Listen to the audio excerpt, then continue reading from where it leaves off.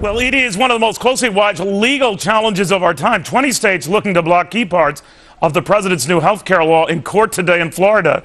The judge apparently meeting them halfway. Our own Greta Van Susteren in court for those proceedings. The host of On the Record joining me right now. Greta, let's set this up. Why is this important? Because if the judge declares it unconstitutional, all the work of Congress on this health care and all the people who wanted it will no longer have this health care bill. Now, what it does is it'll send everybody back to square one. What it was today was the, the states have filed, 20 states have filed a motion to declare the statute unconstitutional.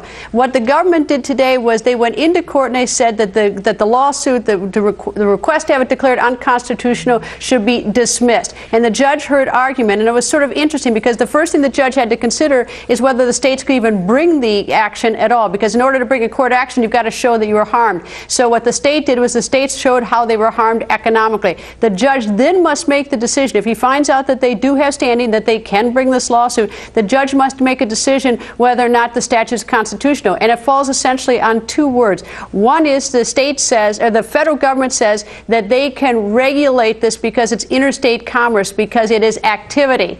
And what the states say, no, it's not activity. Ordering someone to buy a, a health insurance is not an activity, it's inactivity. So it depends on how the judge interprets the word activity, whether, the, whether that's activity or inactivity. The federal government says, okay, if you don't buy that argument, then the reason why this is constitutional is because we have the constitutional authority, the federal government, to tax. And what the states say, what do you mean tax? The president didn't call it a tax, the House didn't call it a tax, the Senate didn't call it a tax. When they enacted it, they did everything but run away from the word tax, and it's not a tax, it's a penalty. And if it's just a penalty, then it looks like the federal government can't do it. So you're going to see a, there's a lot of wrangling today on words. And I tell you, Neil, I couldn't read this judge at all. I have no idea whether or not he's going to say the states have standing, and if so, whether or not the case remains because the constitutional challenges are a good one.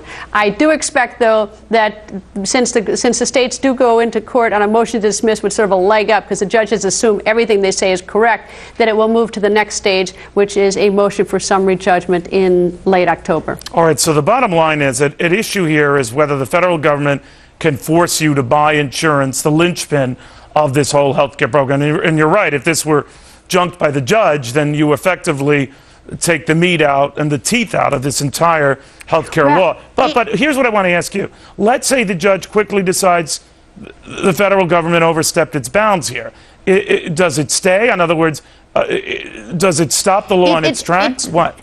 The, the judge was, wasn't even going that deep today. He's just trying to decide whether or not it's so facially bizarre or absurd, and I'm exaggerating it, that he throws it out, that he dismisses it. it so, so he's not going to decide that. What he really is going to decide is whether the states can continue, whether they've asserted enough to show that they've been harmed, and that the constitutional challenges uh, are, are ones that ought to be considered. That's where we are today. So it's, it's not even quite to that stage. But the most but interesting what if we get to that stage? What if the ju- I'm is sorry, that in, what, what in then? the statute there is no severability clause. So if the judge determines that the federal government does not have authority to order people to buy this, these insurance, then the entire health care statute gets thrown out. You can't just sever out one little piece and say right. that's unconstitutional and the rest of the statute stands. Man, oh man, that's big stuff. No wonder why you're following all of this. Greta Van Susteren, on the record, she's on this like nobody's business. Thanks very much, Greta. Thanks, Neil. By the way, on this last.